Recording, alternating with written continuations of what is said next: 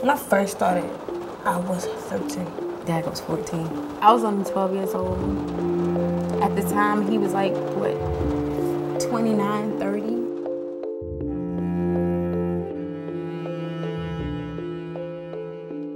We gonna find a little hole today, you know what I'm saying? Put on that curl and make that end, you understand that? So where yours heading to and all that? I want to to talk to you more, you know what I'm saying? You got a nice little thing going on, you know what I mean? That's what I'm talking about, yo. You're just such a sweet talker.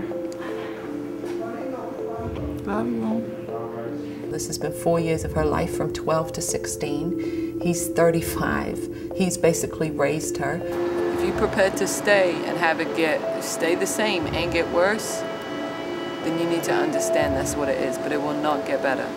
You deserve to just have a regular life. You deserve to go back to school and get a job and work in a pet store and do all the things that you want to do. But those have to be your choices, sweetie. I can't make those choices for you. In any other situation, she would be too young to consent to sex. To have her charged on prostitution charges is a little absurd. She's treated like a criminal after all the stuff that happened to her. Instead of them taking her to the hospital, they took her to the jailhouse. I think it's one of the most despicable things a person, anybody could do. You're my mother. You know how that makes me feel?